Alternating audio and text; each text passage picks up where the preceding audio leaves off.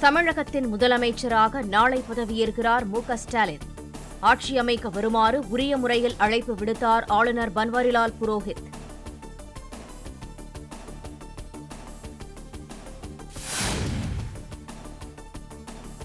மு க ஸ்டாலினை முதலமைச்சராக நியமித்து ஆளுநர் பன்வாரிலால் புரோஹித் அறிவிப்பு. அதிகாரப்பூர்வ அறிவிப்பை வெளியிட்டது ஆளுநர் மாளிகை.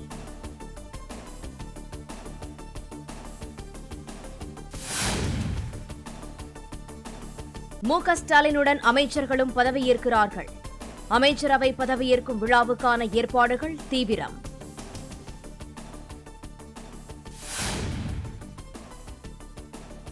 மு க ஸ்டாலின் முதலமைச்சராக பதவியேற்கும் விழாவில் இருநூறு பேர் மட்டும் பங்கேற்பார்கள் என்று தகவல். எளிமையான முறையில் விழாவை நடத்த ஏற்பாடு.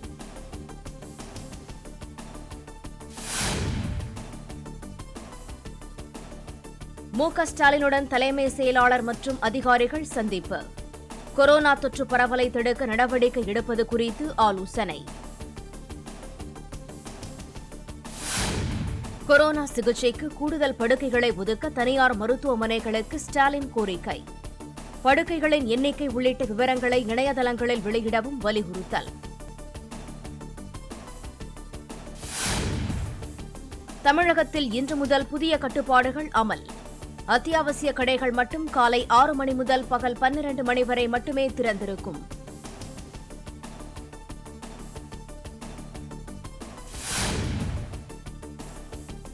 அரசு ஊழியர்கள் ஐம்பது சதவீதம் பேர் மட்டுமே பணிக்கு வர வேண்டும் என உத்தரவு.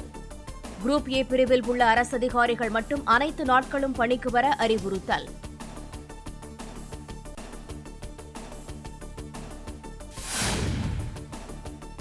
வீட்டில் பணியாற்றும் அரசு ஊழியர்கள் அனுமதியின்றி வெளி மாவட்டத்திற்கு செல்ல தடை. உத்தரவு பிறப்பித்தால் உடனடியாக பணிக்கு வர வேண்டும் என்றும் கட்டளை.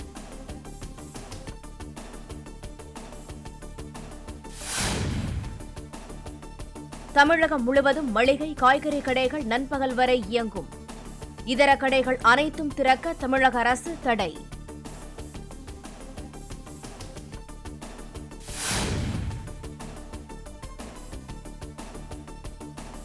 டாஸ்மாக் கடைகள் காலை எட்டு மணி முதல் பன்னிரண்டு மணி வரை மட்டுமே திறந்திருக்கும் என அறிவிப்பு. மதுபான கடைகளுக்கு இன்று முதல் புதிய கட்டுப்பாடுகளை விதித்தது தமிழக அரசு.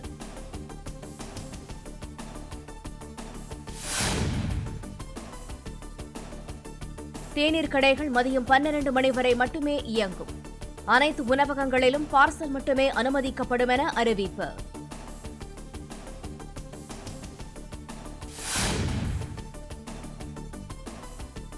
மீன் மற்றும் இறைச்சி கடைகள் மதியம் பன்னிரண்டு மணி வரை இயங்கும்.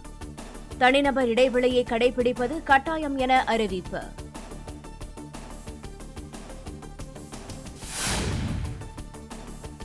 உள்ளரங்கங்கள் திறந்தவெளி இடங்களில் நிகழ்ச்சிகள் நடத்த அனுமதி மறுப்பு. அரசியல் விளையாட்டு பொழுதுபோக்கு உள்ளிட்டவைகளுக்கு தடை அமல்.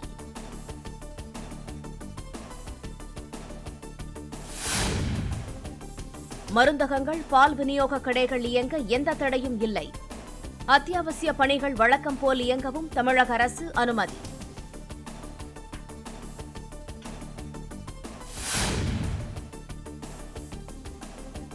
சென்னையில் மாநகர பேருந்துகள் இன்று முதல் ஐம்பது சதவீத இருக்கைகளுடன் இயங்கும். பேருந்துகளில் நின்று பயணிக்க அனுமதி இல்லை எனவும் அறிவிப்பு.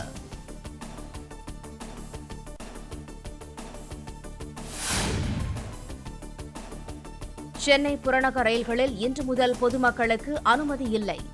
அத்தியாவசிய பணிகள் மற்றும் முன்கள பணியாளர்களுக்கு மட்டுமே டிக்கெட்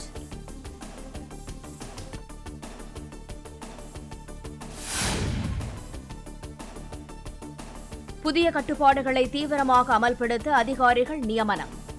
காவல்துறை உயரதிகாரிகளை கண்காணிப்பு அதிகாரிகளாக நியமித்து தமிழக அரசு உத்தரவு.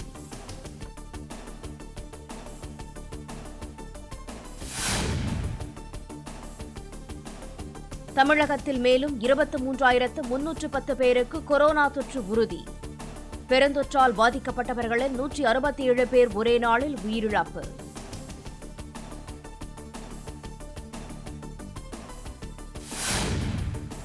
கள்ளச்சந்தையில் ரெம்டெசிவிர் மருந்தை விற்க முயன்ற விவகாரம். விழுப்புரத்தில் மருத்துவர் உள்ளிட்ட இரண்டு பேர் கைது.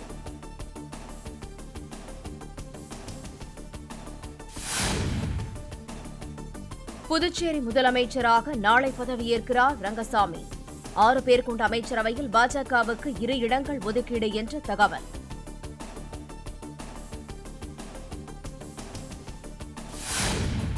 தேசிய உணவு பாதுகாப்பு சட்ட பயனாளிகளுக்கு கூடுதல் உணவு தானியங்கள். எண்பது கோடி பயனாளிகளுக்கு மே ஜூன் மாதங்கள் வழங்க மத்திய அமைச்சரவை ஒப்புதல். மீண்டும் நான்கு லட்சத்தை கடந்தது இந்தியாவில் கொரோனா பாதிப்பு. இருபத்தி நான்கு மணி நேரத்தில் நான்கு லட்சத்து பன்னிரண்டாயிரம் பேருக்கு நோய் தொற்று. இதுவரை இல்லாத அளவாக ஒரே நாளில் மூன்றாயிரத்து தொள்ளாயிரத்து எழுபத்தோரு பேர் உயிரிழப்பு. மகாராஷ்டிராவில் தொள்ளாயிரத்து இருபது பேரும் உத்தரப்பிரதேசத்தில் முன்னூற்று ஐம்பத்தேழு பேரும் பலியான பரிதாபம். கர்நாடகாவில் ஒருநாள் பாதிப்பு ஐம்பதாயிரத்தை கடந்தது. முன்னூற்று நாற்பத்தாறு பேர் உயிரிழந்ததாக கர்நாடக சுகாதாரத்துறை தகவல். கொரோனாவுக்கு வீட்டில் சிகிச்சை பெறுவோருக்கு புதிய வழிகாட்டல் வெளியீடு. மருத்துவர்களுடன் தொடர்பில் இருக்க வேண்டுமென அறிவுறுத்தல். இந்தியாவுக்கு பதினைந்து ஐரோப்பிய நாடுகள் மருந்து பொருட்களை அனுப்பின. கொரோனா துயர் துடைப்புக்கு ஐரோப்பிய யூனியன் இரண்டு புள்ளி இரண்டு மில்லியன் யூரோ நிதி உதவி. நாடு முழுவதும் தடுப்பூசி போடப்பட்டவர்களின் எண்ணிக்கை பதினாறு கோடியை தாண்டியது. நேற்று ஒரே நாளில் பதினைந்து லட்சம் பேருக்கு தடுப்பூசி செலுத்தப்பட்டதாக சுகாதாரத்துறை அறிவிப்பு. பஹ்ரைனிலிருந்து கடற்படை கப்பலில் ஆக்ஸிஜன் சிலிண்டர்கள் வருகை. வெளிநாடுகளிலிருந்து ஏழு கப்பல்களில் மருத்துவ பொருட்களை ஏற்றி வர நடவடிக்கை. அதிக எடை கொண்ட ஹைப்பர்சோனிக் ஏவுகணையை பரிசோதித்தது ரஷ்யா. பதினெட்டாயிரம் கிலோமீட்டர் தூரம் சென்று இலக்கை தாக்கும் என தகவல். இந்தியாவுக்கு மேலும் மூன்று ரஃபேல் விமானங்கள் வருகை. மொத்தம் இருபது போர் விமானங்கள் விமானப்படையிடம் ஒப்படைப்பு.